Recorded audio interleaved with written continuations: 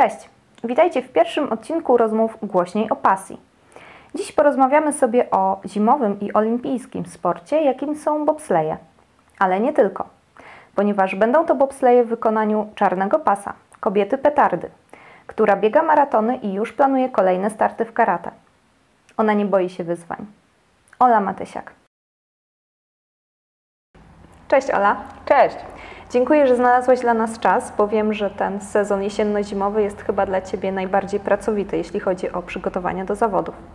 Zdecydowanie był, był pracowity najbardziej do momentu, aż złapałam kilka kontuzji, które uniemożliwiają mi dalsze przygotowywanie się do zawodów, więc zeszliśmy troszeczkę z obrotów, trenuję cały czas, ale już nie tak intensywnie jak e, przed Mistrzostwami Europy.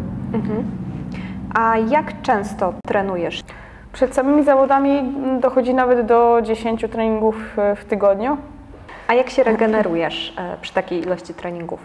Stawiam na sen, czyli jak tylko mam możliwość położyć się wcześniej, czy też zrobić drzemkę w ciągu dnia, to, to z tego korzystam. Mhm. Głównie sen. Preferuję też teraz idzie sezon zimowy, czyli morsowanie.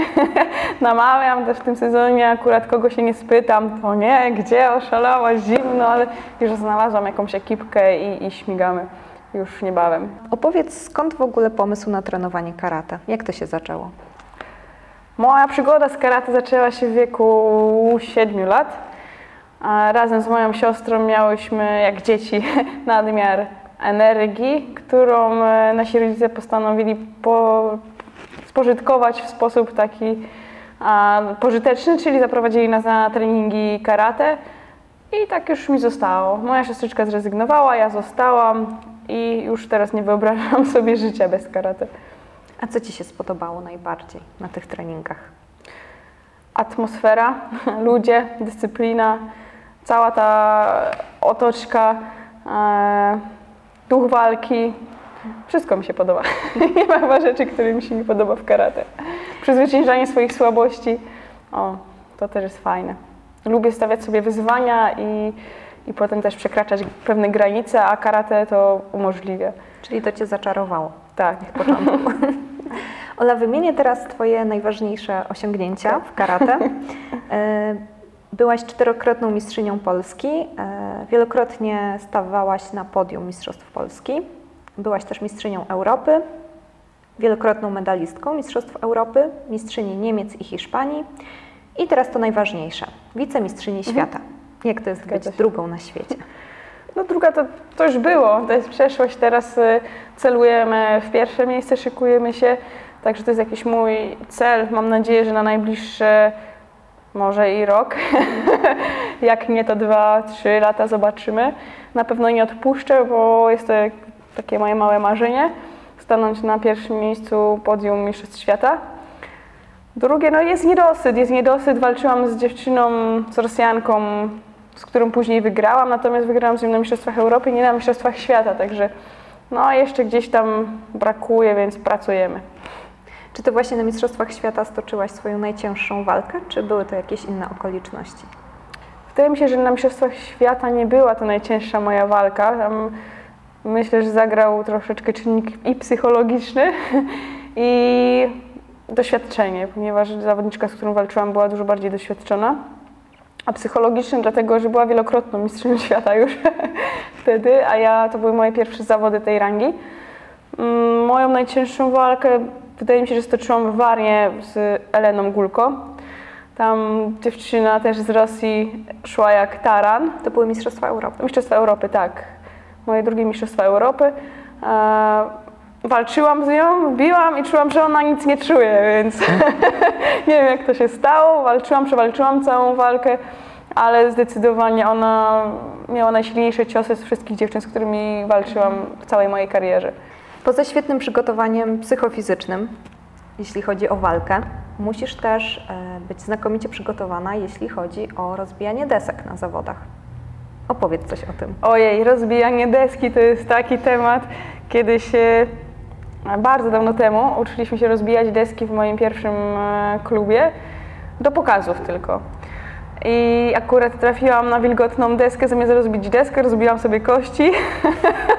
Miałam traumę, która gdzieś tam siedziała w głowie i przyszło mi rozwijać e, deski na zawody i nie ukrywam, jadąc na zawody już gdzieś tam myślałam o tym, że jak dojdę do tej czwórki, to trzeba będzie rozbijać te deski i co wtedy? I była to jakaś tam mała bariera, którą pokonałam i w tym momencie mm, już deski nie są problemem. Aczkolwiek no było, było to dla mnie jakieś tam małe wyzwanie przełamać się znowu do ro- rozbijania desek. Bo oprócz tego, że czujesz presję związaną z walką, Tak, To- czułam presję zdecydowanie z deskami. Już jej nie ma, ale był czas, że była. Została przełamana e, na Mistrzostwach Europy Open, które były w Mińsku. i rozbijałaś deski łokciem czy Tak, ręką, y, dłonią? czterema technikami. Seiken, czyli pięścią, hiji łokciem, shuto tutaj kością i kakato piętą. A wyobraźmy sobie teraz taką sytuację podczas zawodów. E, Za kilka minut masz wejść na matę, widzisz, że w drugim kącie rozgrzewa się Twoja przeciwniczka. Dla mnie to był chyba zawsze najbardziej stresujący moment całych zawodów. E, Jak Ty radzisz sobie z tym stresem? Dużo, bardzo dużo zależy od tego, kto stoi po tej drugiej stronie maty, bo jeśli jest to osoba początkująca, taka widać, że jeszcze nie obyta z walkami, no to myślę o tym, jak rozegrać tą walkę, żeby miała ręce i nogi, żeby mądrze ją poprowadzić. Natomiast jak stoi e, zawodniczka wysokiej klasy, wysokiej rangi, zwracam uwagę na swoje mocne strony, co mogę wykorzystać w tej walce. Czy osoba jest wysoka, jak Ksenia Zasorina, czy jest raczej niższa, jak e, francuska e, e, Chines. I wtedy myślę o tym, co mam robić w tej walce. Tuż przed wejściem na walce, przed walką nie myślę o swoich słabościach, tylko raczej o tym, co, co powinnam teraz wykonać, na czym się skupić. A już podczas walki, kiedy dochodzi zmęczenie, e, a Ty musisz wciąż jasno myśleć, e, jak sobie z tym radzisz? Bo ból i zmęczenie często przeszkadza już w tym, e, żeby realizować założenia, które sobie wypracowałaś wcześniej. Tak, pierwsza runda zazwyczaj jest całkiem ok, jak dochodzą dogrywki, a ostatnio dochodzi ich bardzo dużo. Pierwsza, druga dogrywka robi się ciężko, to fakt, ale ostatnio na Mistrzostwach Europy we Wrocławiu dostrzegłam taką pewną zależność, że w momencie, kiedy jest ciężko, przychodzą myśli, kurczę, druga osoba jest tak samo zmęczona jak ja i co teraz? Odpuścisz? Te wszystkie przygotowania i godziny na sali? No nie. Lecisz dalej, przechodzisz pewien próg i wtedy zaczyna się kleić. Nie wiem, u mnie to tak funkcjonuje, że znowu zaczynam a, coraz lepiej czuć e, walkę pod koniec. Czyli przekraczasz pewną granicę Tak. i wtedy pojawia się ten nowy stan umysłu, Tak. jeszcze lepszy. Tak, a to jest nowość u mnie, więc muszę to jeszcze rozpracować, e, dlaczego tak się dzieje, bo też byłam w szoku. A co Cię motywuje do treningów? Motywuje mnie do treningów myśl, że cały czas gdzieś tam są e, osoby lepsze ode mnie. Są osoby, które muszę gonić. Dużo osób też myśli, że ja jestem dobrą zawodniczką, a ja tego nie czuję i muszę dogonić tą osobę, za którą oni mnie uważają. Bo cały czas myślę, że jestem gdzieś tam jednak e, niżej, a oni zawyżają to wszystko. Także muszę gonić to wszystko. I tak mnie motywuje do dalszej pracy, ciągłej pracy nad sobą. A już po powrocie z treningów, z zawodów, kiedy wracasz do domu, co jest Twoim ukojeniem, odskocznią? No, to w domku czeka na mnie piesek, który jest moją odskoczną, z którym lubię spędzać wolny czas, wychodzić na spacery, biegać, spać też, bo lubię dużo spać. Ale słuchasz też podcastów. tak, bardzo lubię słuchać podcastów, bardzo, jeśli mogę, to polecam też program, program, stację e, Elite Mentality i praktyczną stronę treningów, gdzie bardzo dużo fajnych tematów, jest dużo wiadomości, można się do, od różnych osób dowiedzieć. Mm, dużo praktycznej wiedzy. Czyli regenerujesz się tak naprawdę ucząc się. Tak, jednym. cały czas. tak. W każdej wolnej chwili, bo też dojeżdżam na treningi, a, gdzie prowadzę w różnych szkołach i przedszkolach, to też czasami jadę ponad pół godziny, to zamiast słuchać radio, włączam sobie podcast, ciach, leci, jest super. Karate nie jest komercyjnym sportem. E, Często musisz e, Mhm. sama płacić za wyjazdy, za zawody. Em, Nie myślałaś nigdy o tym, że właściwie w innym sporcie z Twoim zacięciem, z Twoim charakterem mogłabyś już być może zarabiać miliony? Być może przeszła mi kiedyś taka myśl przez głowę, aczkolwiek to, co zakorzeniło się u mnie w, we wczesnym wieku, jak tylko tata mi zapisał, tak zostało już i jak nie wyobrażam sobie życia bez karate, bez tego środowiska, bez tych ludzi, z którymi mam możliwość spotykać się na każdych e, zawodach, a uprawianie wielu dyscyplin na wysokim e, poziomie jest e, niemożliwe. To prawda. A, a propos właśnie ym, wielu dyscyplin, bo trenujesz i bobsleje, i karate. I czasami, i to mnie zawsze ciekawiło, bo czasami te różne zdolności motoryczne się zazębiają. To znaczy, yy, w karate, powiedzmy, na danym etapie przygotowujesz się ym, pod kątem wytrzymałości i w tym samym momencie bobsleje wymagają od ciebie robienia siły. Jak ty to godzisz? E, Podstawa jest zawsze taka sama, siła. Siła podstawową jednostką motoryczną, jak mawia mój trener od siły w bobslejach. E, Siła ponad wszystko. Tak, siła ponad wszystko, to jest podstawa, najważniejsza, także to jest e, jedno. Później w momencie, kiedy zbliżają się zawody, to to, co jest moim priorytetem, to przeważa. Czyli załóżmy, są zawody karate, ostatni miesiąc czy półtora do zawodów karate, zostawiam bobsleje, skupiam się, fokus jest na jednym. Bo tak naprawdę ostatni miesiąc, półtora decyduje o tych ostatnich e, zdolnościach jak e, dynamika i szybkość, a siłę i wytrzymałość budujemy wcześniej. Okej, a co dało ci karate mm, w bobslejach? O, siłę. Siła, Siłę, czyli ta siła, tak, kluczowa. Siła, siła, tak. A mentalnie? Myślę, tak. Mentalnie, o, mentalnie dobrze, że o to zapytałaś. Współpracujemy tam też e, z psychologiem e, sportu i rozmawiając z różnymi dziewczynami, a stwierdził, że widać, że współpracowałam wcześniej z innym psychologiem czy coachem i to prawda. I myślę, że doświadczenia, jakie miałam z karate, też że są na plus do startów w przyszłościowo, startów w bobslejach. Bo cała ta filozofia karate, prawda? Y, dużo daje, jeśli chodzi Tak. o głowę. Tak. Mhm. Ola, karate i bobsleje to jest dosyć zaskakujące połączenie. Jak to się stało, że dołączyłaś do polskiej kadry bobslejowej? Historia troszeczkę zawiła, a doprowadziła mnie tam moja ciekawość.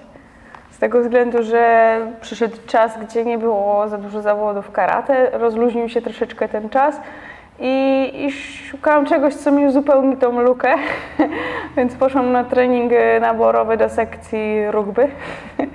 Tam trener mnie zauważył, chciał, żebym trenowała rugby, to nie wyszło, bo Shihan mi zabronił. W sumie słusznie. A... Bo to dosyć kontuzjogenny Dokładnie sport. tak. Mógłby ci przesłonić starty. Tak, więc, y, więc zrezygnowałam z rugby, ale trener a, zaproponował mi testy do, do kadry mm, bobslejowej, a że lubię sprawdzać siebie, to pojechałam na te testy, poszły bardzo dobrze, pojechałam dalej na zgrupowanie kadry w Polsce, później się dostałam do tej kadry, pojechałam na zgrupowanie za granicą i tak kroczek po kroczku do przodu. A jak wyglądały te testy sprawnościowe? Co musiałaś robić? Stres, test sprawnościowy polegał na biegu lotnym, biegu z miejsca, skok w dal, mm, bieg z wózkiem z obciążeniem, Jakie to było obciążenie? a, około 100 kg. Około 100 kg To całkiem na czas, sporo. tak. Mm, I chyba to wszystko. A jak wyglądają Wasze treningi bobslejowe? Treningi w sezonie letnim e, bazują na przygotowaniu motorycznym. Treningi odbywają się e, na stadionie, na bieżni, biegowe a, i też skocznościowe. Natomiast e, jest też trening na siłowni, wzmacniamy siłę. Te treningi realizu- re- realizujecie w miejscach swojego zamieszkania czy na zgrupowaniach? Mm. Macie rozpiskę? Tak, raz, raz w miesiącu przez tydzień jest zgrupowanie w COSie, przeważnie w Cetniewie, gdzie pracujemy z trenerami i później kontynuujemy ten plan do końca miesiąca u siebie i później znowu wracamy, mamy testy, sprawdzają czy faktycznie trenujemy, czy się obijamy i tak dalej.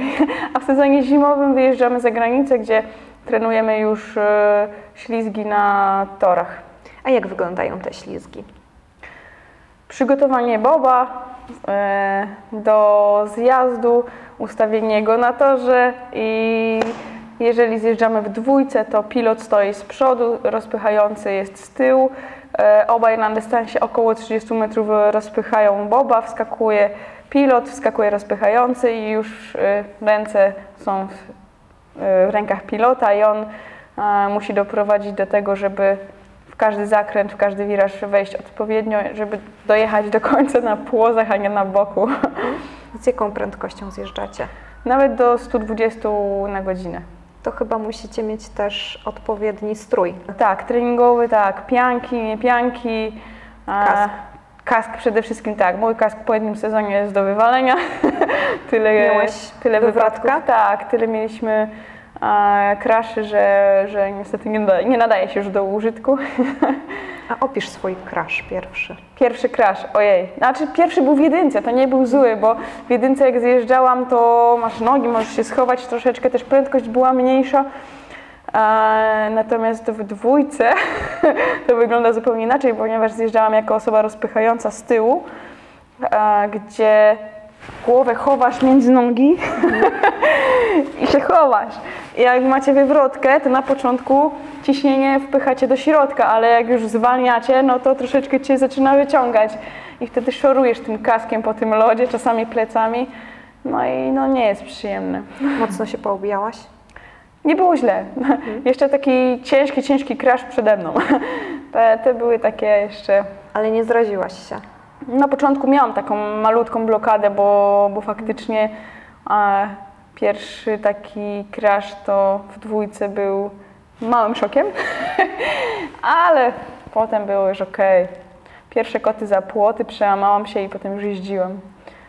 A jaka jest Twoja rola? Jesteś rozpychającą, tak?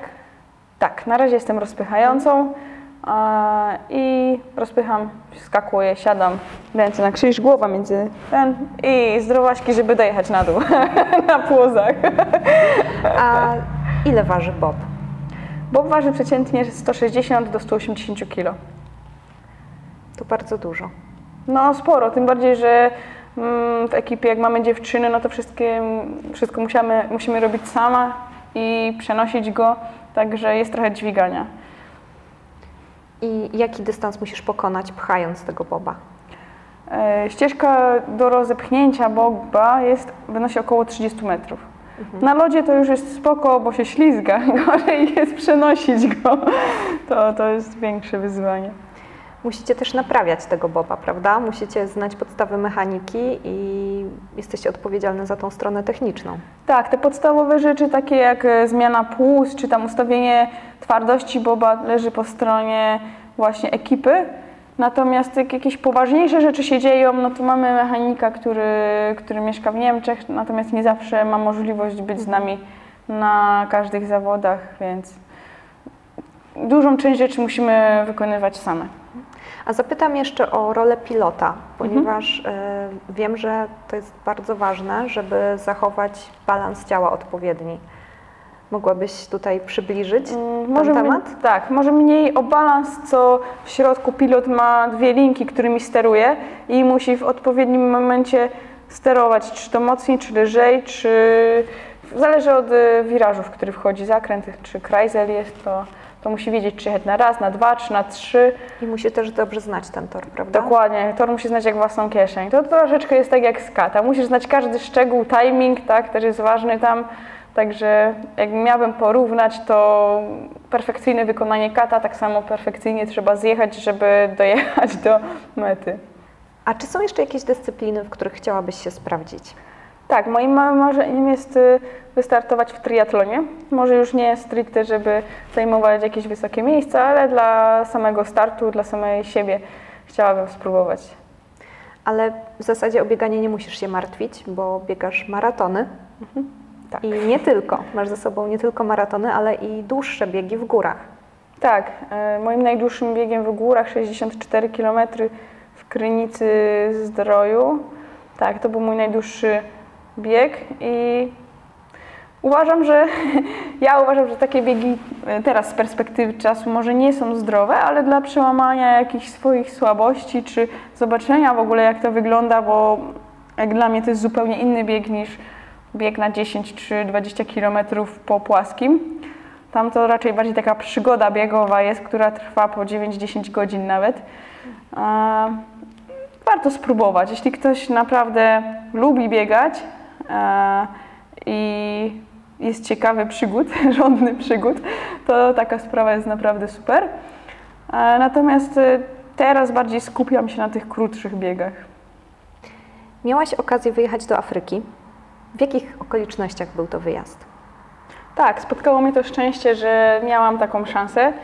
E, Tato poprosił mnie, żebym pojechała z nim, zapytał, czy chciałabym e, zostać mamą chrzestną e, dziewczynki. Ja oczywiście się zgodziłam, bez dwóch zdań, bez chwili namysłu. E, Pojechałam. Głównym celem e, właśnie były chrzciny małej Marty, a przy okazji miałam możliwość poprowadzić zajęcia z karate z dziećmi z tamtejszej szkoły. I co Cię najbardziej zaskoczyło?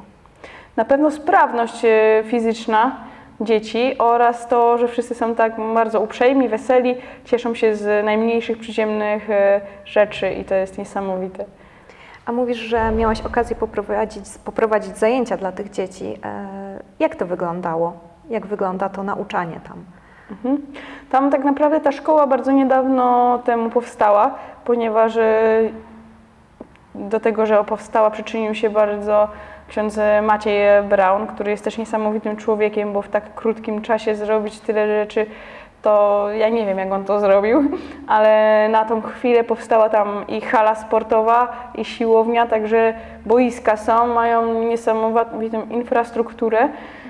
System nauczania u nich jest brytyjski, natomiast jeśli chodzi o sam sport, to nie mają żadnego programu nauczania. A ja korzystając z tego, że jestem na uczelni sportowej, postanowiłam napisać dla nich program nauczania wychowania fizycznego, z którego potem będą mogli skorzystać. A żeby napisać taki program, bo chciałabym, żeby to był mój autorski program, chciałabym wykonać testy sprawnościowe, sprawdzić na jakim poziomie są e, dzieci w Afryce i dostosować do, do ich e, zdolności wszystkich e, różne ćwiczenia i, i cały, cały program pisać. Ola, bardzo dziękuję Ci za rozmowę. Pozostaje mi życzyć Ci zdrowia, bo wszystko inne masz. Masz energię, masz zacięcie, masz żelazną dyscyplinę. W zasadzie cały arsenał do walki o kolejny sukces. Bardzo dziękuję. Powodzenia. Dzięki, przyda się.